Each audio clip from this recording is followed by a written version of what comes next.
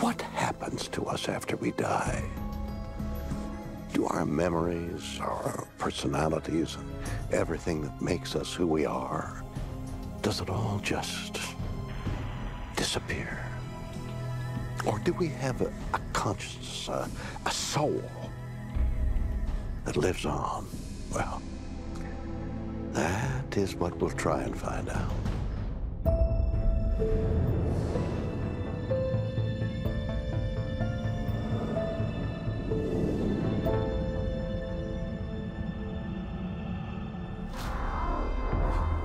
Richmond, Virginia, September 5th, 2005.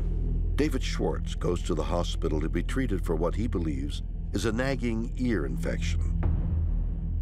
But in fact, his illness is much, much worse. I checked myself into the emergency room, and that was Monday afternoon, and by Tuesday afternoon, I was in a coma. My kidneys were shut down, all of my organs were failing, and the blood flow was lost to my brainstem as well, which would have meant brain death. They told my mom and my dad that really that I had a limited amount of time left. With their son facing certain death due to kidney failure, David's parents were willing to try anything that might help him.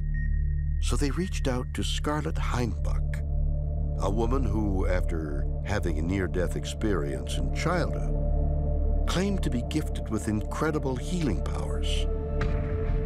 When I walked in David's hospital room for the first time, I knew he was near death. He was unconscious, and I took his hand, and I was standing right by his bedside when all of a sudden I was out of my body in another realm. He was hovering there, and there was the soul connection, and I felt him with every fiber of my being, and he made a decision at that point to come back. When I first awoke and saw Scarlett, I had the sense that I knew who she was and I knew everything about her.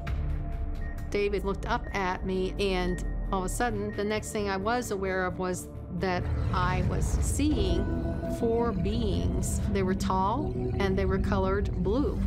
I saw them manifesting a set of kidneys, if you will. I saw the kidneys being dropped into his body.